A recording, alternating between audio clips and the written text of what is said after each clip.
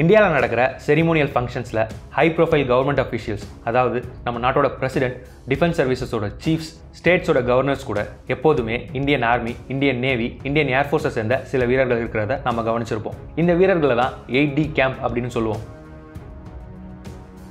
Eight D camp சுருக்கமாக சொன்னால் ADC நம்ம நாட்டோட டிஃபென்ஸ் ஃபோர்ஸஸை சேர்ந்த ஆஃபீஸர்ஸ்க்கு வழங்கப்படுற ஒரு ப்ரெஸ்டீஜியஸான அஃபிஷியல் போஸ்டிங் ஏடிசி ஆகிறதுக்கான வாய்ப்பு ஆர்மி நேவி ஏர்ஃபோர்ஸ்னு நம்ம நாட்டோட முப்படைகளை சேர்ந்த அதிகாரிகளுக்கு கிடைக்கும்.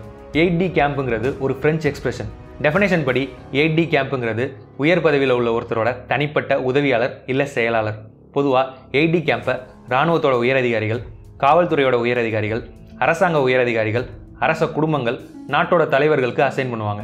நம்ம நாட்டை பொறுத்த வரைக்கும் நம்ம நாட்டோட ஜனாதிபதி முப்படைகளோட உயரதிகாரிகள் மாநிலங்களோட ஆளுநர்களுக்கு ஏடிசிஸை அசைன் பண்ணுறோம்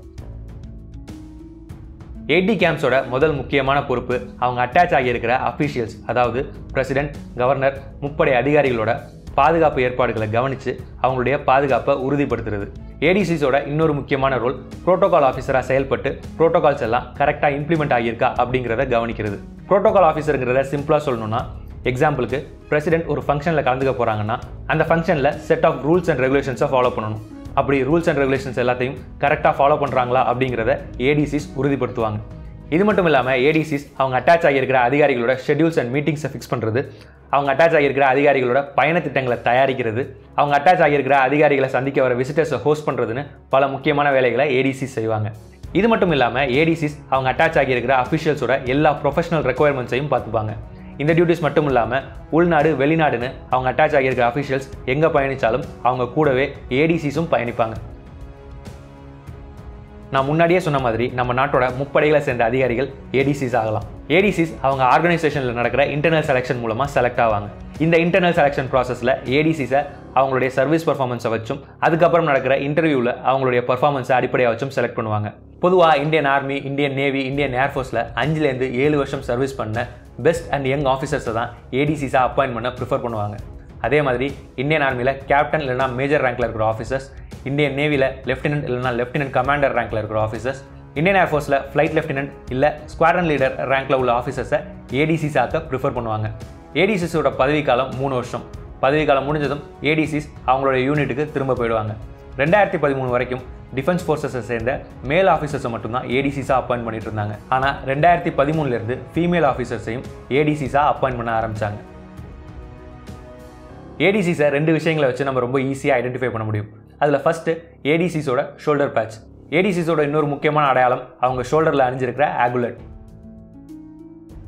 இந்தியாவோட பிரசிடென்ட்டுக்கு மொத்தம் அஞ்சு ஏடிசிஸ் இருப்பாங்க. இந்த அஞ்சில் மூணு ஏடிசிஸ் இந்தியன் ஆர்மியை சேர்ந்தவங்க.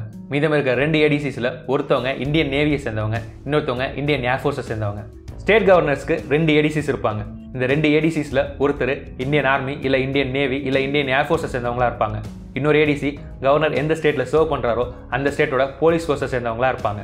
Indian army chief Indian navy chief Indian air force சீஃப்னு நம்ம ட்ரை சர்வீசஸோட சீஃப்ஸுக்கு மூணு ஏடிசிஸ் இருப்பாங்க. இது மட்டும் இல்லாமல் டிவிஷன்ஸை கமாண்ட் பண்ணுற இந்தியன் ஆர்மியோட மேஜர் ஜென்ரல் அண்ட் அபவ் ரேங்க்ஸுக்கும் இந்தியன் நேவியோட வைஸ் அட்மிரல் அண்ட் அபவ் ரேங்க்ஸுக்கும் Indian ஏர்ஃபோர்ஸோட air vice marshal and above ரேங்க்ஸுக்கும் ஏடிசிஸை அசைன் பண்ணுவாங்க. ஏடிசி ஆகிறத ஒரு மிகப்பெரிய பெருமையாகவும் கௌரவமாகவும் நம்மளுடைய பாதுகாப்பு படை அதிகாரிகள் பார்க்குறாங்க. ஏன்னா பெஸ்ட் ஆஃப் த பெஸ்ட் ஆஃபீஸர்ஸால் மட்டும்தான் ஏடிசி ஆக முடியும்.